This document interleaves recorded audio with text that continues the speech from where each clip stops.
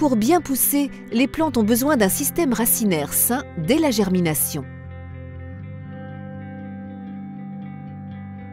Le design à l'avant-garde des plaques de propagation AirPot favorise activement le développement racinaire des jeunes plants. Le terreau doit être affermi pour que les alvéoles soient correctement remplis.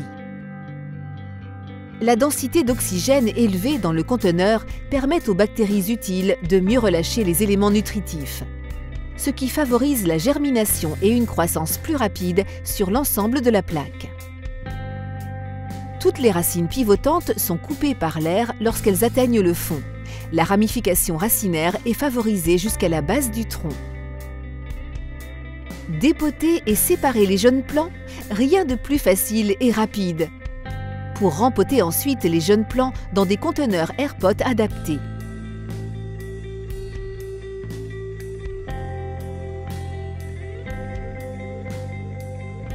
En secouant la plante pour enlever le terreau, vous découvrirez son système racinaire fibreux bien développé. En rinçant les racines, vous remarquerez les racines pivotantes coupées et la masse de racines latérales s'étant ramifiée.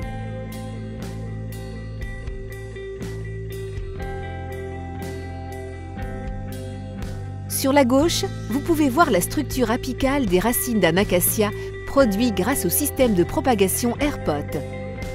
Le fond plat d'un conteneur de semences classique a produit une déformation typique en forme de J des racines de l'autre arbre. La structure apicale des racines a permis une meilleure croissance apicale.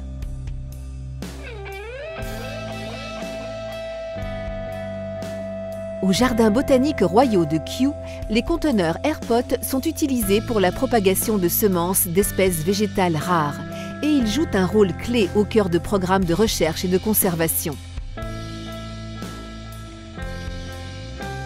Les jeunes plants de chêne, vus précédemment, sont rempotés dans des conteneurs de 3 litres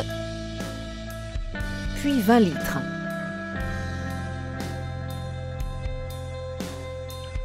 Quatre ans après la germination, nos chaînes d'Écosse ont une masse racinaire parfaitement développée. Leur mise en place instantanée est donc garantie, quel que soit l'endroit.